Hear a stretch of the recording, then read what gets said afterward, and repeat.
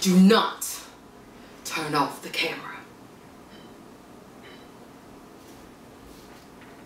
Ladies and gentlemen, my name is Russell Edgington, and I've been a vampire for nearly 3,000 years.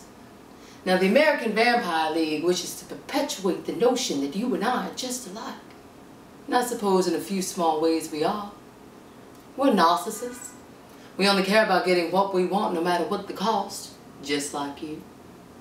Now, global warming, perpetual war, toxic waste, child labor, torture, genocide, a small price to pay for your SUVs and your flat screen TVs, your designer jeans, your, your absurd garish McMansions.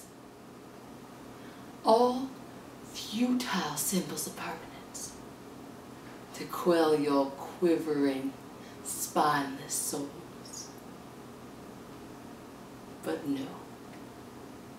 In the end, we are nothing alike because we are immortal.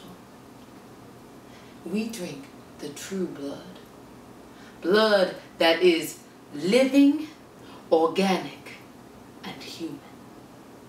And that is the truth that the ABL wishes to conceal from you. Which is why they put on their friendly faces to pass their beloved VRA, but make no mistake. Mine is the true face of vampires. Why would we seek equal rights? You are not our equal. We